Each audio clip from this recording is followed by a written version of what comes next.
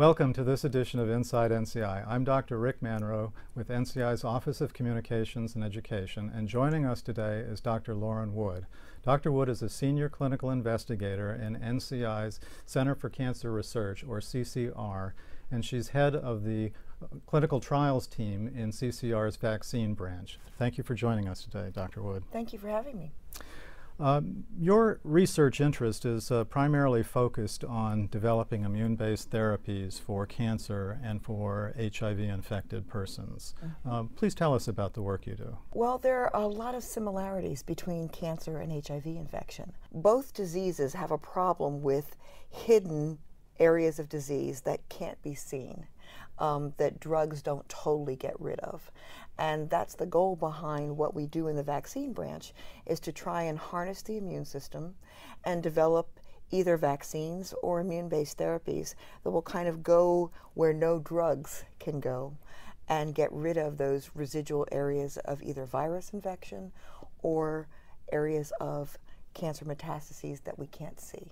Have there been recent advances in immune-based therapies and cancer vaccines that you'd like to tell us about?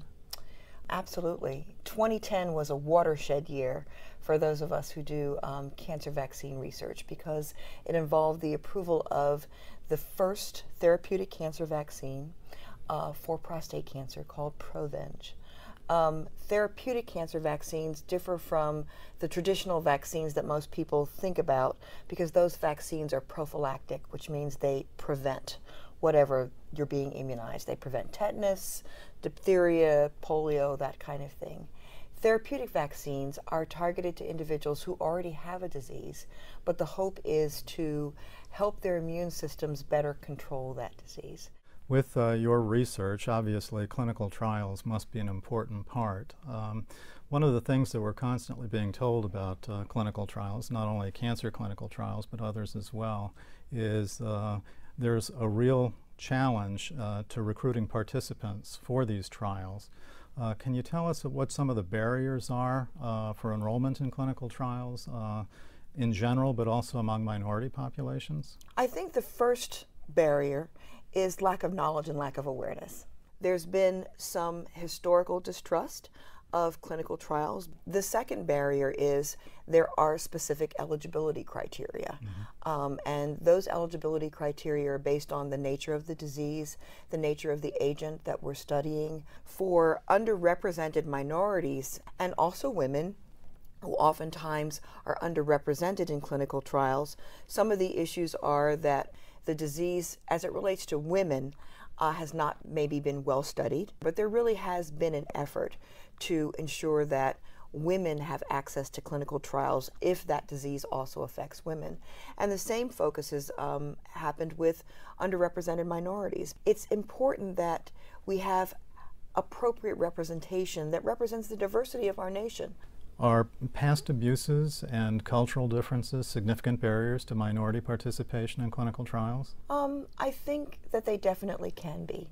And I think at a population level, to some extent, that is true. Cultural barriers can include just language barriers, but there are also other cultural barriers in terms of how healthcare providers are regarded how health and disease is viewed culturally within a community. One of the things that we do find is, is that when people get informed about what the actual research options are, that many of them are very, very interested in participating in clinical trials. And so the other and final area um, that I think leads to underrepresentation is, is that a lot of minority patients are not necessarily offered clinical trial options by their healthcare providers.